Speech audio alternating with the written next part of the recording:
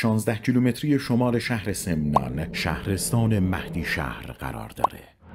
این شهر زیبا محل اسکان ایل سنگسره که هنوز خیلی از اونها در طبیعت اطراف سنگسر به صورت اشایری زندگی می‌کنن و آشنا شدن از نزدیک با اونها می‌تونه خیلی لذت بخش باشه.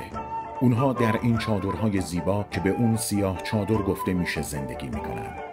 زنهای سنگسری در بافت انواع منسوجات محلی استادن اما مهمترین راه امرار معاش این مردم دامداریه.